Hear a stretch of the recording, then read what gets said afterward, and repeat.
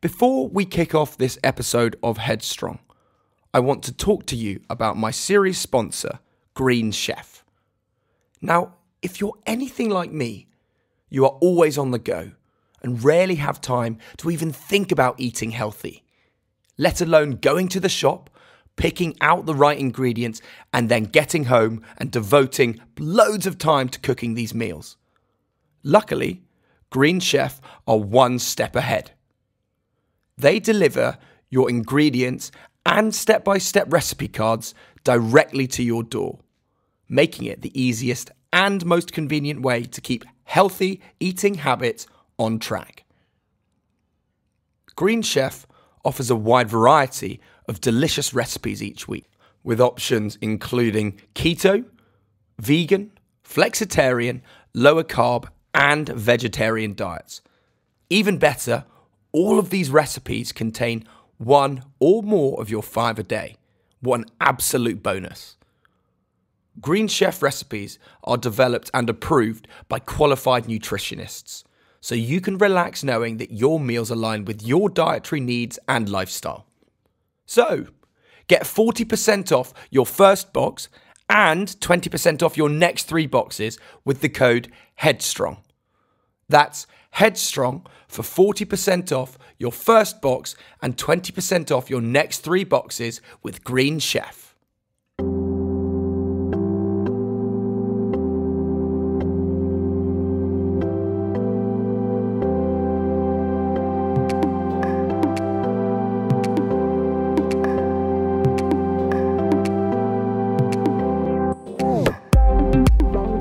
Hello, and welcome back to Headstrong. This is a podcast hosted by me, Louis Strong, and I talk to a variety of people in the public eye about their lives, their careers, their experiences to understand what the word headstrong means to them. And to me, it means to believe in yourself, to talk about your vulnerabilities, and reinforce your self worth. Now, on this episode of Headstrong, I was joined by the wonderful Belle Hassan. Belle and I chatted about her life growing up with a father who is an actor, her time at school, and some of her more formative experiences in life that shaped who she is today, as well as the whirlwind experience of Love Island and what that has done to her life, and the experiences of social media and the media outlets themselves. I really hope you enjoy this episode of Headstrong. And if you do, please do hit subscribe, share it, leave a rating. That would be amazing. Every little helps. Belle, thank you very much for joining me on Headstrong. How are you doing today? I'm good. Thank you for having me. My absolute pleasure. I mean, we're midweek. Well, actually, it's still at the beginning of the week. How's the new year started for you, 2022? Well, you know, it started positive, how it always does. So that's good. I'm working. I'm on a new fitness journey, which I'm really excited about. Did you have a New Year's resolution?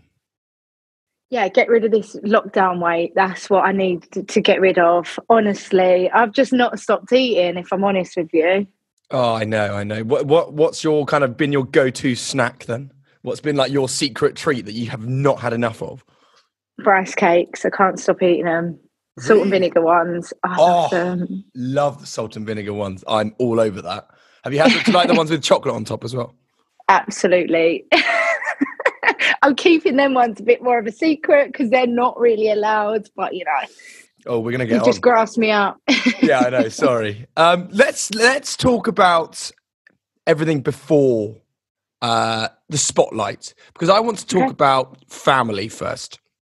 Because as, as most people will know, your father is in show business, and what I want to talk about in terms of that is when you were a kid, how often were you experiencing show business? Were you taken to set? Were you were there scripts lying around at home? What did you know of it at, from a young age? I mean, yeah, I used to go on set a little bit with my dad. There were a couple of films that I was in with him, like little bits when I was younger. Sorry. Um, yeah, there was a few bits. There was always scripts everywhere. My dad was forever learning lines, forever you know, I was always filming him and running lines with him. Um, I'd do all of his self tapes. For anyone that doesn't know, that's basically you send a tape of yourself. It's like a video audition. Um, so I was forever filming them and reading the parts with my brother and my dad because my brother did a little bit of acting as well.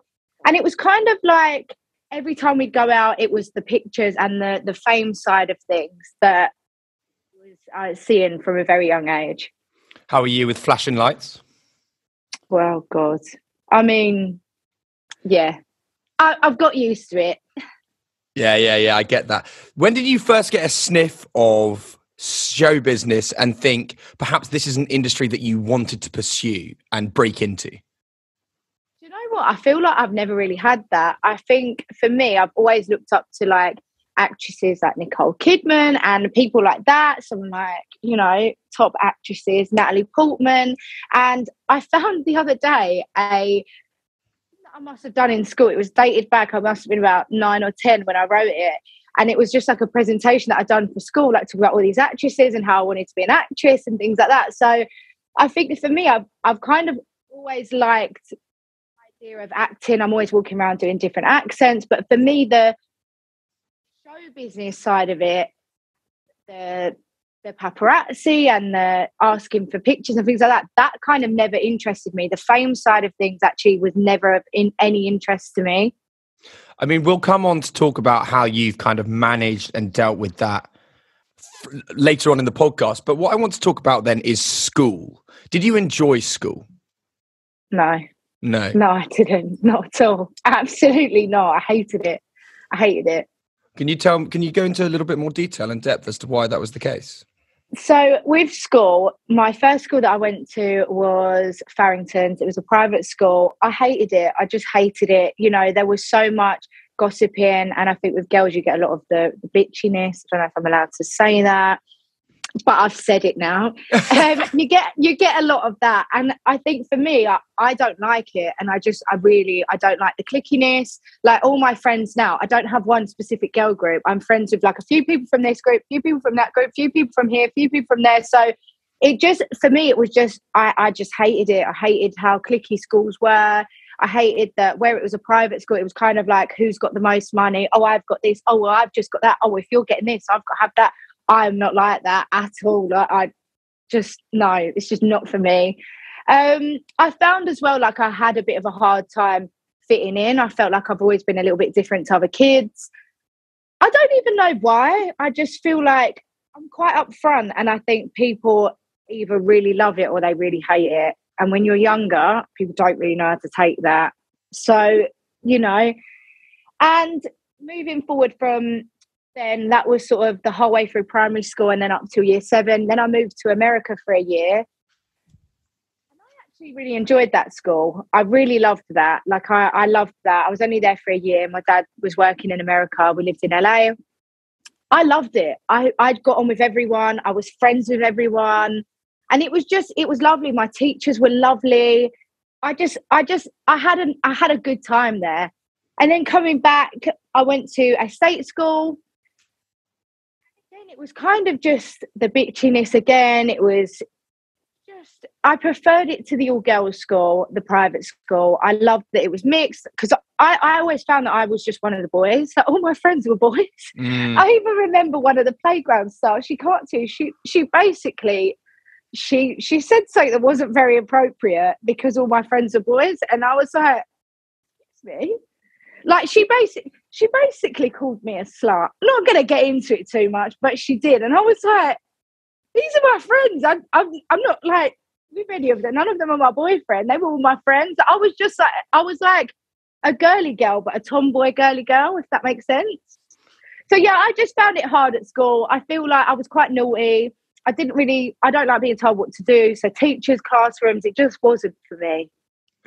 just wasn't. Um, I know that we're quite early into the podcast, but I really want to talk about kind of an essential part of what was your childhood and something that is a topic that people are reluctant to talk about because it might well be taboo and people are scared of talking about it. But I know that you've talked Mhm. about it before, and that was when you self harmed from as a teenager. Yeah. Your experiences at school led to this and a variety of other experiences. Can you talk to me about not maybe not the event of the first time, but what led you to be driven to uh, this this uh, action to yourself? Do you know what it was for me? I think it was such a big thing as well, like to talk about. Like you said, people don't really want to talk about, and I thought it was such it was a big deal that I wanted to, I wanted to make it a thing so that girls could look at me or guys could look at me and be like, you know what, she's all right now. I'm gonna be all right. Um, so like the first time, I can't really remember as such the first time, but it was like I just remember being young, just feeling like I hated myself. Like I just I hated myself. I hated the way I looked. I hated who I was. I just I just, like I said, I, I, just felt like I didn't fit in. I wasn't the same as other kids. You know, I grew up in a school where everybody kind of was all about money and all about this, and their interest was were just so different to mine. It was all about being horrible to someone or starting here, and I just, I just, I just didn't like the clickiness. So I just felt like I'd never fitted in. And then it was kind of it was more so when i came back from america and i was in the state school i actually had my first boyfriend. I mean silly boyfriend. Oh that's my dog. Um i had my first sort of boyfriend you know it was nothing serious it was someone that i just kissed like it was nothing like that like i was with him for like a few months and then i kind of as you do at the age of like 12 or 13 you get to the point and you're like with you no more. I don't like, you know, it's a silly relationship. I'm a, I'm a child.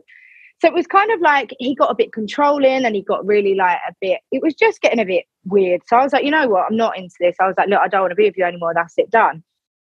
And then it was, it was kind of the, if you're not going to be with me, I want to kill myself. I don't want to live anymore. And I was like, oh my God, at the age of 13, I'm being told that. Like, I blamed myself. And I was like, uh, should I be with this person? Should I not? Should I this? Should I that? Then he went around the whole school lying and saying that I'd done this, I'd done that. My mum and dad didn't know I had a boyfriend. Like, I was not allowed a boyfriend. So I couldn't tell my mum any of this. I couldn't tell anyone. I was like dealing with it all by myself. And at the age of 13, I know what a narcissist was. I didn't know what emotional manipulation was. I didn't I didn't know any of that.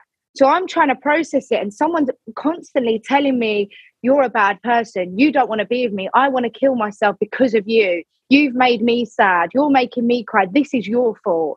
And I was like, I didn't know how to deal with it. And I think for me, I've, I've always feared being a bad person. I've never wanted to be a bad person. Like I have OCD all the time. And my, one of my biggest things is like, I get like these thoughts. I'm like, I don't want to be a bad person. I don't want to be a bad. Does that make me be a bad person? If I do that, does that make me a bad person? So that's something that really like plays on my mind. I would never want anybody to think I'm a bad person.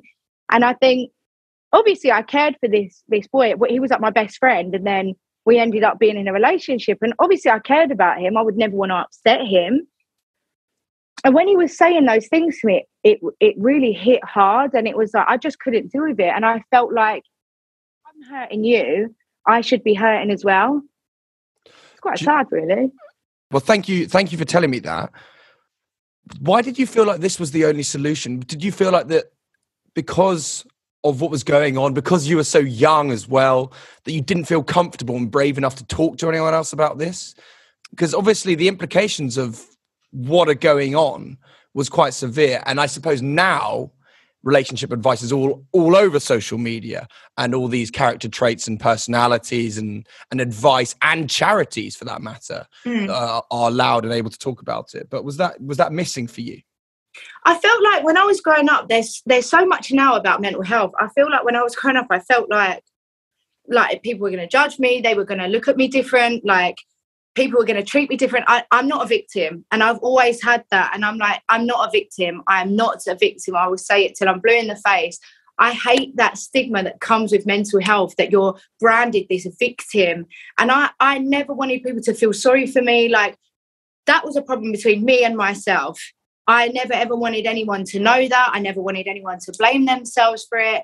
You know, and I think the thing is like I don't I don't even remember how it was something that came about. I think I think it was in passing comment with with one of my friends, maybe how I first even heard about self harm, and they had said that you know they they had a situation, and it was kind of like I thought, oh, is is that the right way to deal with it? I think it was something like that. It was something like I was talking to someone and they had, they had mentioned about self harm, and I was like, "Oh, what's that?" And they were like, "Oh, people do that because it's a." It's a conversation that I suppose kids just have. It's something that they've never heard of, and really, they're, they're giving out wrong information of what it is or how how actually like damaging it can make you feel, and it's actually not not the right answer. It's when I got older, I got to a point where I was like, "This is so silly. What am I doing?"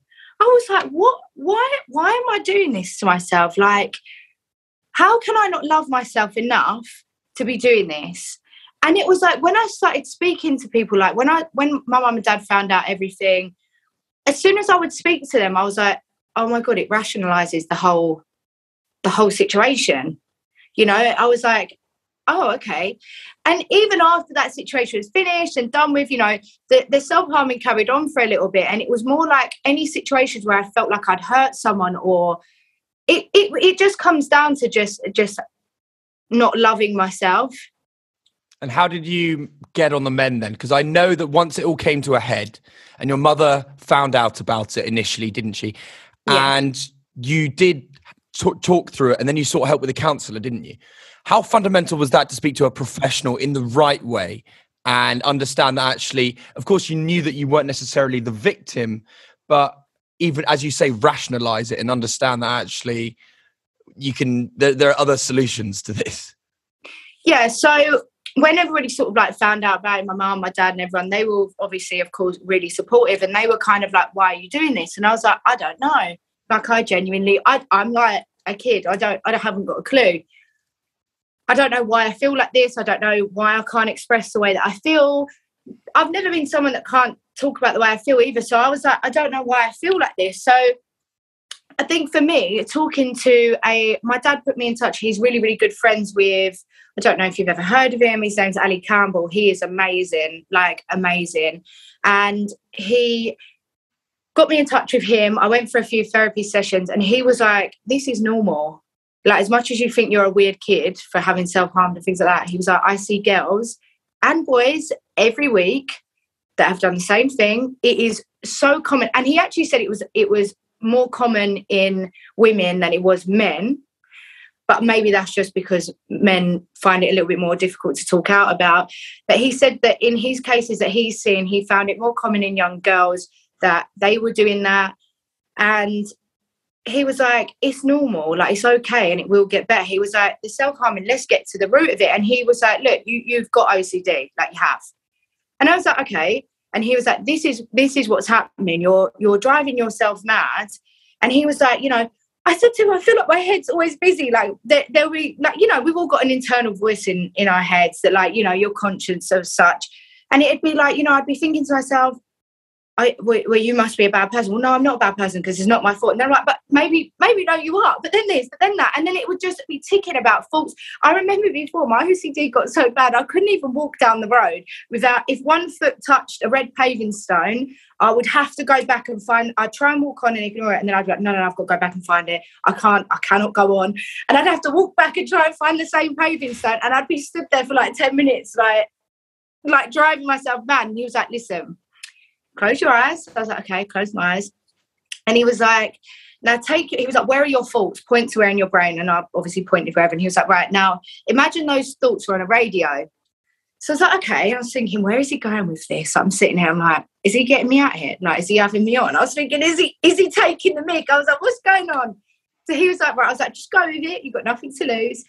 So he was like, put them thoughts on a radio. Imagine they're coming out of a speaker. So I was like, okay he was like, now take that radio, and he was like, close your eyes and really imagine it, and put it in the corner of the room. So I was like, okay. And he was like, now them thoughts are playing at you, aren't they? And I was like, yeah. And he was like, now turn it down, like turn it down, like phys- physically turn it down. And I was like, oh my god, it's silent. I was like, there's silence in my head for the first time in like two years. There is silence in my head, and I was like, I can hear like nothing. It's it was it was like game changing, and it was something so simple, and it it's it, it's worked for like my whole life. If ever I'm really stressed out, I've got a lot of thoughts going on, I'm I'm confused about say even as such a simple task as clearing out my room, I'll sit, thoughts over there, turn them down, and it just it it was just mind blowing, literally. So, do you still use visualization and techniques that you've learned throughout your life? Yeah, definitely. I, I've kept that with me since I think I first see the the therapist. I want to say that word. I was going to say counselor, but I wasn't sure if say therapist or counselor. I don't know if there's a difference there. So Up if I'm you. offending anyone, you know, I apologise. But yeah, I first started seeing him. He did a bit of hypnotherapy on me as well, which was amazing. And I first started seeing him. I think I was about sixteen, maybe seventeen.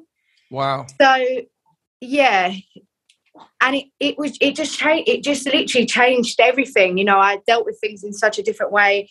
And don't get me wrong, there were times where I felt really like roped back into that mindset. But it was easier to be like, no, this is okay. Like I could now talk to myself properly, like and deal with it. And I think for me, it was always really important that I didn't want to have to rely on anyone else, a boyfriend or my mum or my dad, to help me. I wanted to be able to do things myself. What I want to ask you then is how important do you think it is for individuals to actually willingly say, do you know what? It's good to stay in check with myself and go and see a professional and seek advice or help. And I'm not saying that it should happen every week, but if you need it, you shouldn't feel afraid or feel like it's a vulnerability to do so. No, I don't. I don't think anyone should be scared to say that. I mean, don't get me wrong. When my dad said, "Yeah, I want you to see this guy," like he's amazing, I was absolutely petrified. I was like, "I'm going to have to talk about the way I feel." He's going to ask me all these questions that I don't know the answers to, and even still to this day, I don't have all the answers. You know, people ask me questions about it all the time, and I'm like, I don't know.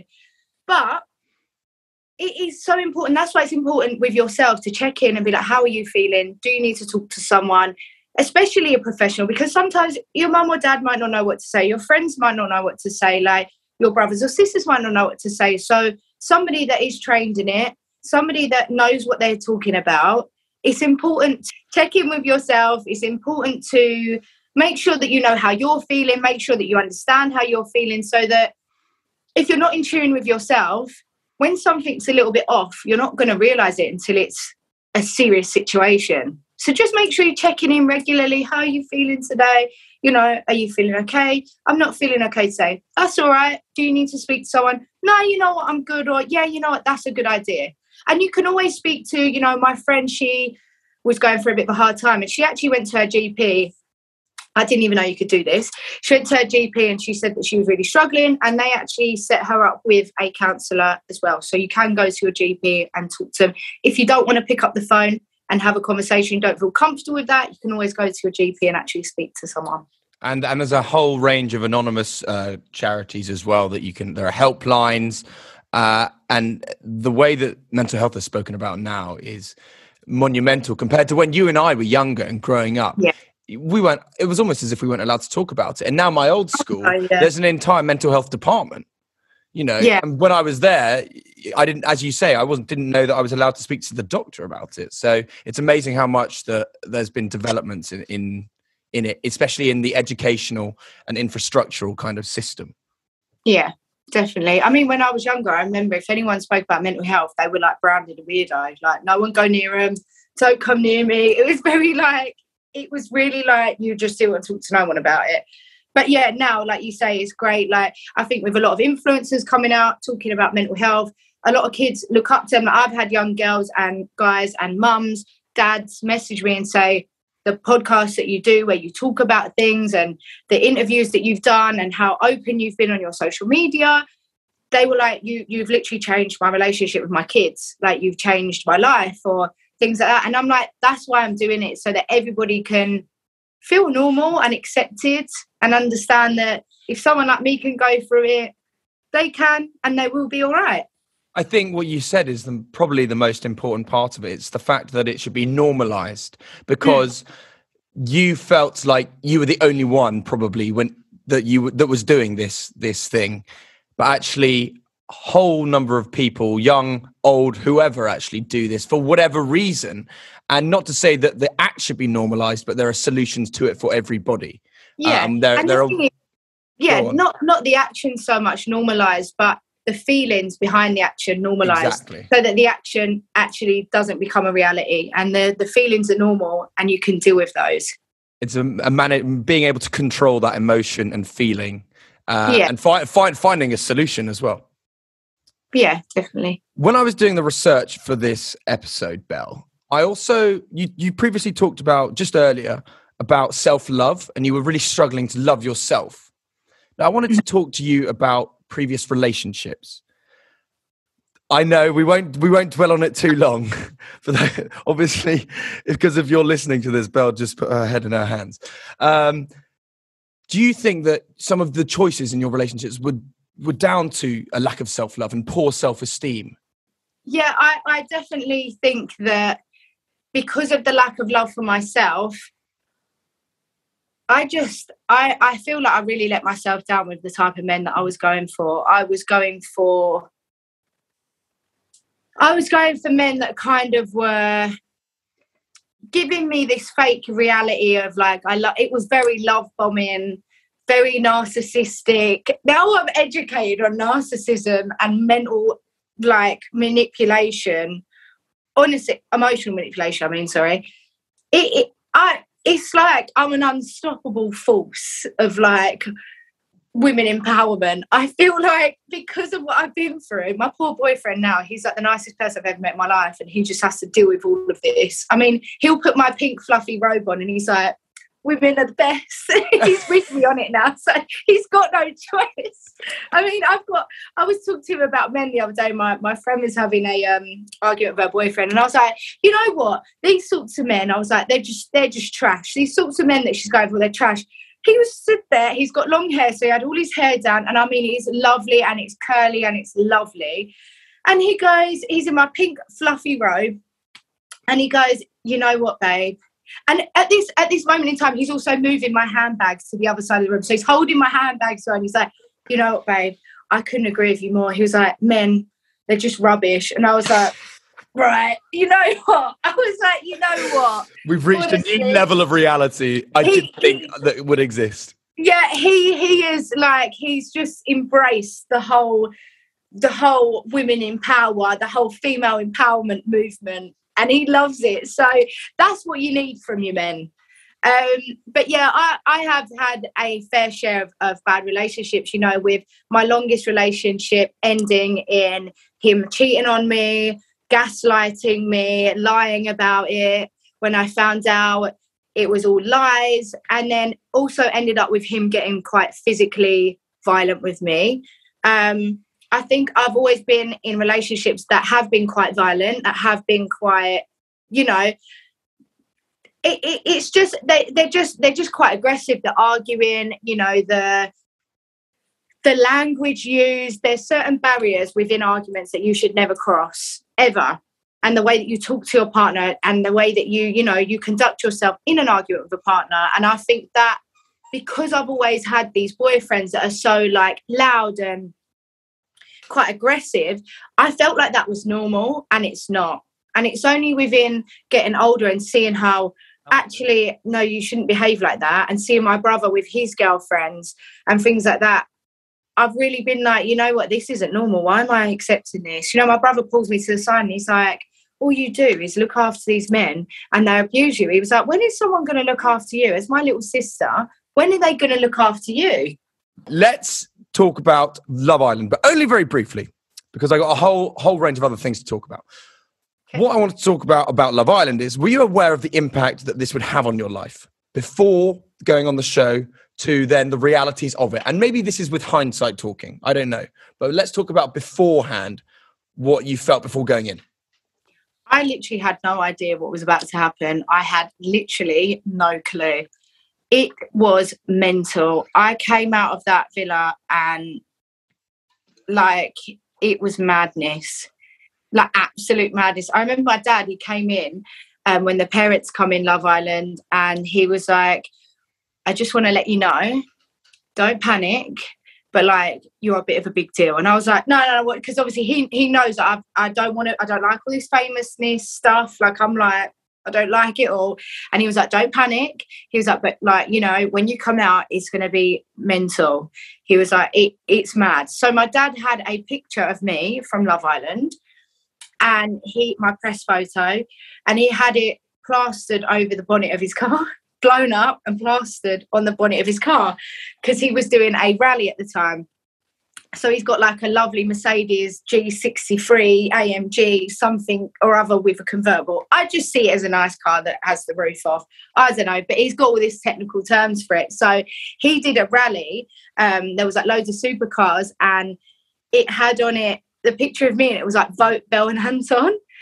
So I had that, and then he um he was like, whenever I drive the car, I have girls like screaming at me, like chasing after the car, like it through town. And I was like, no, you're lying. He was like, I've even had people that are on the in the like um like van drivers, like lorry drivers. They're like, oh, who's that on the front? He's like, it's my daughter. And they're like, yeah, all right, mate. And he was like, no, no, no, it is. Like, watch what you're saying because it is actually my daughter. She's on the telly. so he was like, I'm no longer Tamer Hassan. I'm Belle Hassan's dad. He was yeah. like, hilarious. He was like, I've done all these films. He was like, I'm a credible actor. He was like, and I'm no longer known as myself. I'm known as Belle Hassan's dad. He was like, I kind of like it though. So I'm all right with that. Oh, that's sweet. Oh, that's a good dad. What did it live up to expectations? Expectations of what? What do you mean? I don't know. What? What? Okay, then let's ask you that. What were your expectations of the experience? So not not the what would happen, but your experience on the show. Oh, then no, it didn't. It didn't. I I really thought that Love Island was going to be the most.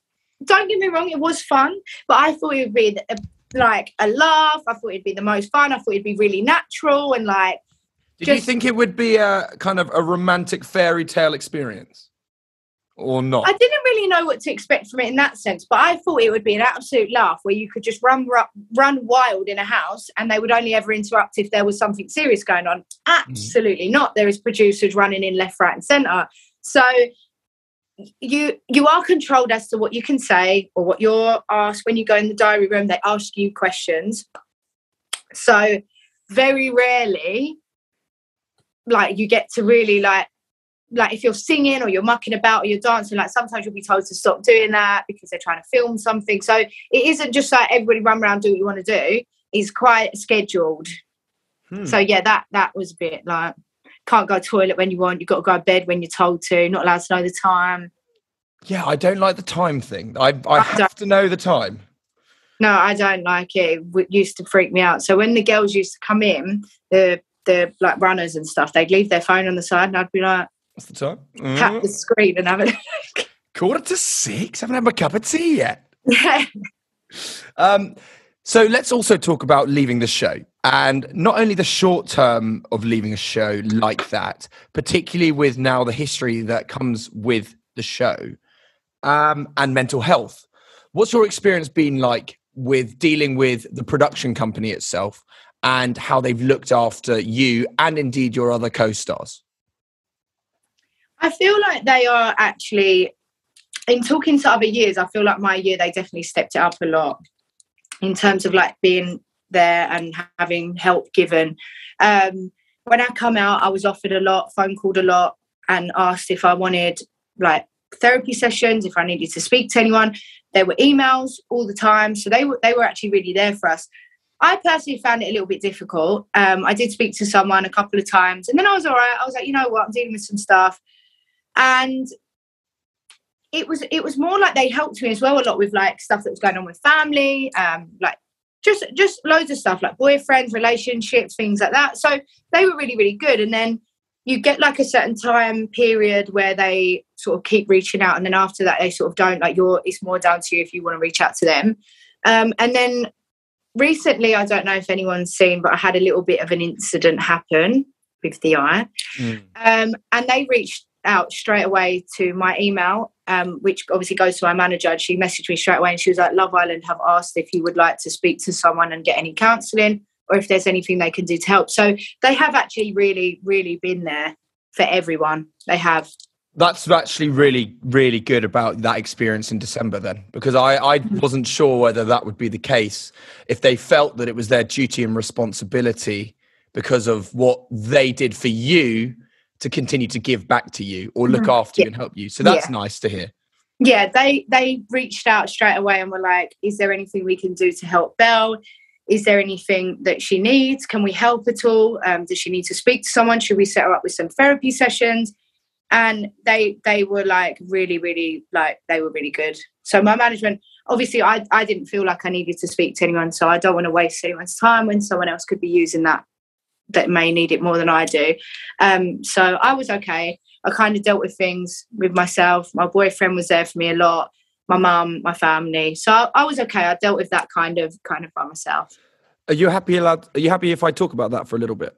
Yeah, as Just long as, as we touched on it. Up anything like police wise? No, no, no, no, no. Nothing to do with cases or anything like that. More just the um it's going to lead on to the conversation with social media as well.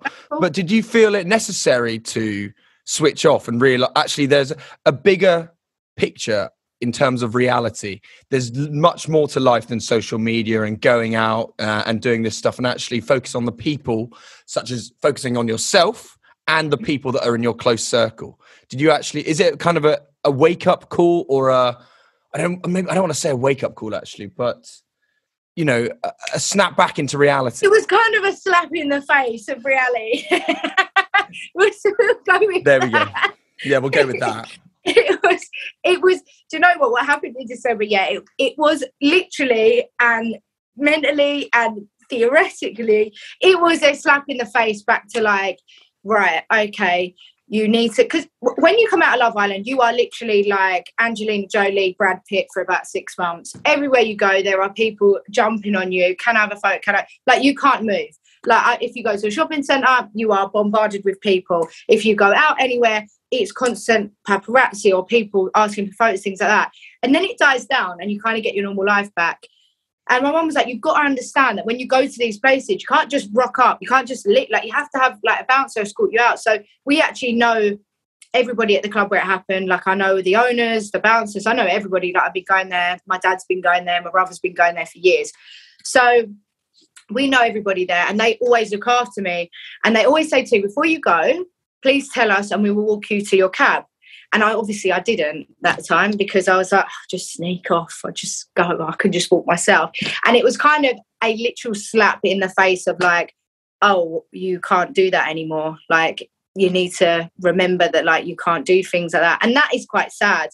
And this is why I did such a big thing on social media about it because I get this a lot. I get girls start on me for no reason, non-stop and if a guy comes over to me and they try it on with me and I'm like, not interested, they're like, oh, you think you're something da da da da da because you've been on the telly. And I'm like, no, I just don't fancy you. Just not really a bit of me, babe. And weirdly nice. enough, if you hadn't checked, I've actually got a boyfriend. Yeah. so like if you was actually a fan and you actually fancy me, you know I've got a boyfriend. That's what I think. But there you go. You know, it is what it is. And I think I put it out there because I know a lot of influencers that have dealt with similar situations that don't want to talk about it because they don't want to damage their rep- reputation or have people think differently of them or get known for being a rowdy person. Like, I think it's pretty clear to see that I'm somebody that doesn't take any nonsense. I will always stand my ground. If someone's screaming in my face, they'll probably get it back. Like, I don't ever start for no reason. And every brand, every person, everybody that's met me will know how I am. And they love me for it. So it is what it is. And the thing is, when somebody, when you have your back to somebody and they just clap you in the face, it's a little bit like I was like, you know, like I'm almost like, where the like, where has that come from? And that for me, I was like, it was probably one of the first times I've ever been like, okay, this this could actually go really bad. Like I'm here on my own. I'm just with my boyfriend like this could actually go quite bad. And that's where I was like, you know, I just remember thinking, oh, sake, like, God's sake. And I actually, as I walked off, I bumped into the owner of the club, one of the owners, and she she goes to me, um, she like deals with everything there. I mean, like she is a scary woman. You would not want to mess with her. I love her and she loves me, and I'm happy for that because if she didn't, I'd be petrified. But she was like, look, I'm going to deal with this. Leave it. Like, don't get involved. Don't don't do anything. Don't do, just go home. And I'm so grateful she did that. And she was like, just go. The girl is trying to get something from you. She wants to be noticed. Just go. And I was like, all right, you're right. Within seconds, the girl was messaging me, "You've done this." Da da da da da da da da. Da." And I was like, oh, you know, like, I'm really trying to calm myself down. All right, I was drunk. I probably said a few things over text that I shouldn't have said. I will hold my hands up to that. I've never once lied. I stated it. She shared all of the DMs. It wasn't a secret. I shared them to my page. I'll hold my hands up. But what she did to me was wrong. And that is it. I don't care what anyone says to you. I've had some people shout some horrendous things, and I've never physically ever touched someone. And it was it wasn't before, it was after. So my followers forgave me for, for the, the few digs that I give, luckily. As we've established, with this show comes the opportunity for vast amounts of social media follows. And today, I think you're sitting at just over a million followers on Instagram Yeah. alone. And that's a crazy amount of people when you actually think a million people if they were all in one place. And that's a lot of people. I Do you feel the weight and expectation of fans and followers with each and every post and story that you do, and that it has the right message and implication? How do you tackle social media? I, I have I have really felt a lot of pressure through social media and I kind of was like beating myself up about it. You know, I was really going for a bit of a hard time at the start of the lockdown. And I think it was a bit of a weird time for everyone. And I thought, you know what? I'm not going to sit here and pretend like I'm the world's best blogger, influencer, because I'm not. I'm still learning how to edit my pictures properly. I'm still learning how to take pictures properly. This wasn't what I did before Love Island. And just like anything, it can take five years for you to be good at a job. So I'm still learning. And I was like, you know what? I'm just going to be honest with people. And I was like, look, guys, I'm I'm struggling. I don't know what to post. I don't know what to talk about on my stories. I don't know. I don't know what to do. I'm having a bit of a hard time. I don't. I literally don't know what to tell you. I don't want to talk on my stories because I feel awful. I feel sad. I don't want to talk, and that's it. Oh my god, the amount of messages were like, Belle, I'm so glad you said this because we was all worried about you. You've gone missing for a couple of weeks. Where have you been? And I'm like, okay. And they were like, you know, this is what we want to see. Let us help you. So so many girls like, hi babe, like I've seen your message. Like this is what we want to see. Like we'd love to see like your makeup or your skincare or what clothes you're wearing. And I was like, why did I not just ask for help earlier? Like I could have just asked everyone for help. So this big expectation I put on myself. And really, if I'd have just gone to my followers, hi guys, what do you want to see me post? Do you want to see me acting a fool on TikTok? Do you want to see me doing my hair? Do you want to see me doing my makeup? I would have probably been doing all right a lot quicker. So they they actually really helped me. So I think the, the pressure for me now, I don't feel it so much. But you know, How do you switch off from social media? Because it's not a traditional nine to five job, as anyone will know, because you can spend hours on it or you can spend a minute on it. How do you say enough is enough, say in a day, or you've done the work side of it? When does the work and maybe um, personal time come into it? Instagram doesn't really shut off. And this is, you know, what people should understand when they turn around and go, Oh, I want to be an influencer because that is the best job in the world. It's 24 hours a day, 365 days a year. You don't get off time. It is constant. And with Instagram, if you are not, there's so many influencers now. If you are not constantly posting, talking to your followers and things like that, they just switch off. They're like, you know what? I don't I don't want to follow you. I'm bored now. Next person you will obviously get your very very loyal fans and followers and they literally will talk to you every day. Like i've got some people i've been talking to every day since i come out of love island. Like we're basically best friends. Like i talk to them more than i talk to my actual best friends. So you know i talk to them all the time and they're constantly messaging me like belle where did you get this from? Or what's this? Or what you doing? I hope you're okay. How are you today? So you know you get some people that will literally follow you through everything and then you do get some people that are just like, you know what, there's a better blogger, there's there's a new Love Islander, I'd like to follow her. Belle's boring me now, I'm not interested. So it's it's constant. And everything that you do put on your platform, you should see as work because it's like if you're going out, what are you putting out there? Will a brand see that? So it's not no longer your own Instagram. It's kind of like you've got to be careful what you put up.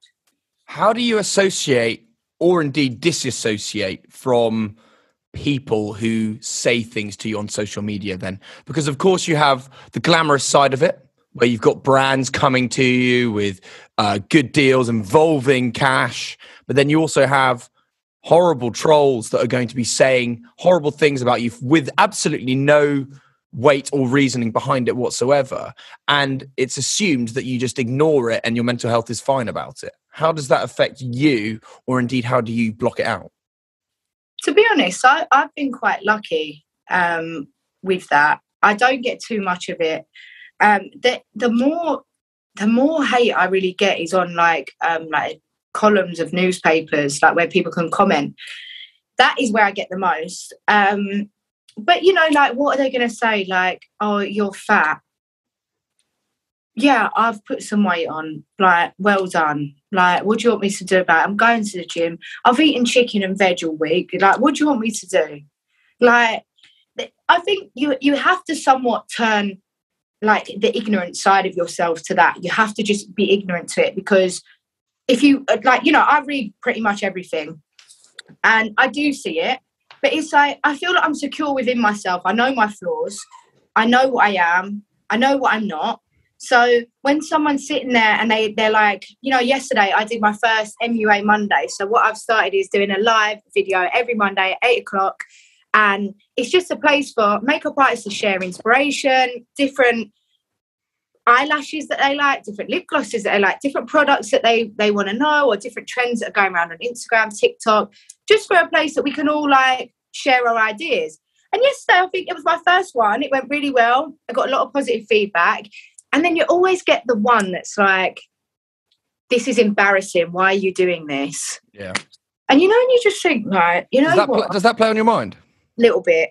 That does a little bit because it's something that I was nervous about doing. It's something that I makeup is what I do. It is some. It's what I did before Love Island. It is something that I love, and the reason I do it is because I love making people feel good. I love feeling good. I love making people feel good. I like seeing people come into our room, doing their face, and they leave a different person. They're like so confident. They come in all like shy, and mm. they leave like with the confidence of Beyonce. Like they are, yeah, and that that I love that. That's so rewarding for me. So when someone says something like that, I'm like, oh, why would you say that? I'm just trying to do something good here. Like I'm trying to get everyone's creative inspiration flowing. Like it's something positive on a Monday. Everybody hates Mondays. It brightens up a Monday.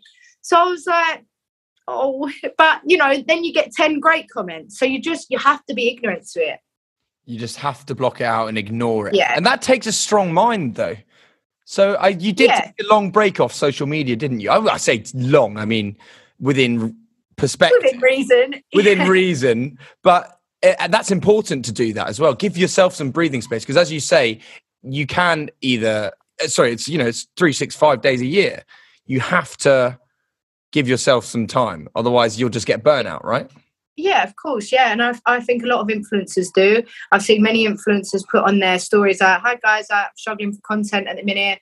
I've hit a bit of a block. I don't really know what to do. Like people think influencing is just taking a photo, posting it. It's so much more than that. You know, it's it's taking pictures, editing them, knowing where to take pictures, planning the outfit for the pictures, planning the outfit and the makeup to batch together and the hair and the this. And if the wind's blowing too much that way or there's a shadow there, not the right photo. If you edit it wrong, it looks too edited. If you don't edit it, you look like it's not a professional photo.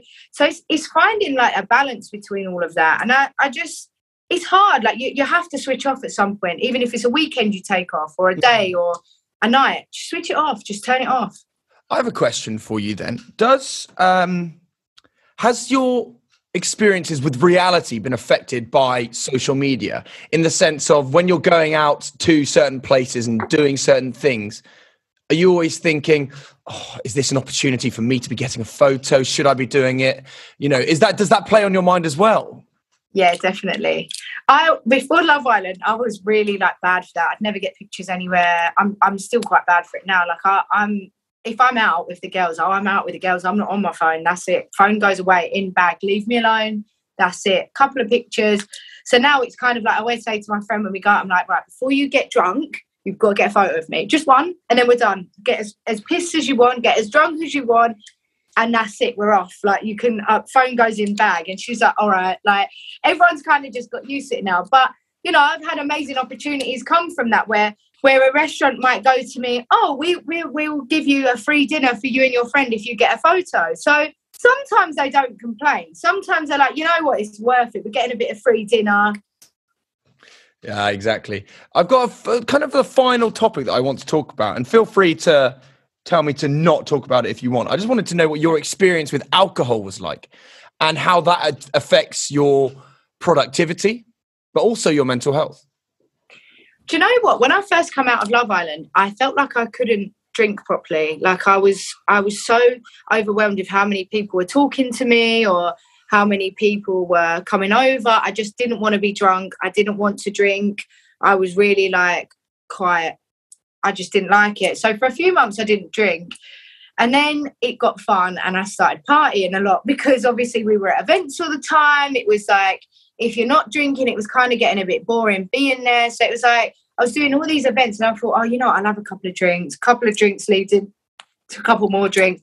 And then a couple of drinks leads into from the event, let's go to a club. And then you can imagine the next day when you do drink you're product uh, you're not you're not very pr- productive. You're not. You just you're just not because you're just tired. You want to lay in bed. You want to eat mcdonald's. You you end up getting out of shape. So drinking is good in moderation.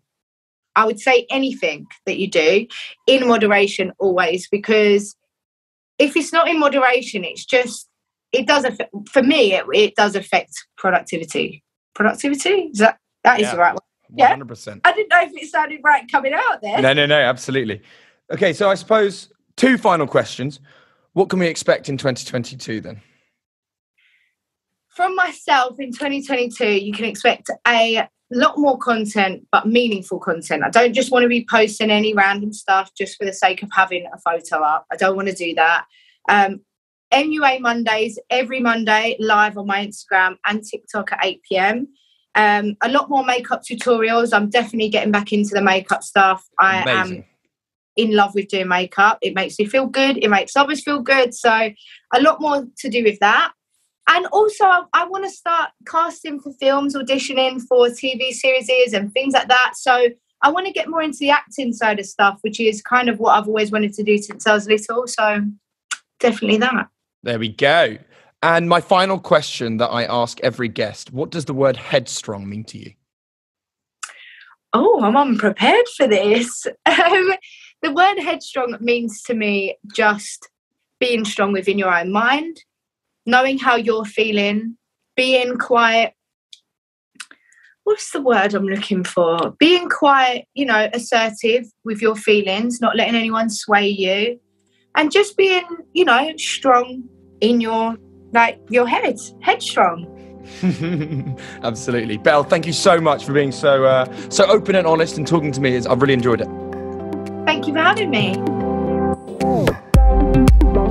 A massive, massive thank you to Belle Hassan for joining me on this episode of Headstrong. I really enjoyed having Belle on, and I think it's fair to say that she's completely honest and completely true to herself in conversations like this. If you have enjoyed this episode, please do share it with your family, your friends, your pals, whoever you think might enjoy it. And please do leave a rating, a review, and subscribe. All this really helps me. All that's left to say is I will see you next week for another episode of Headstrong.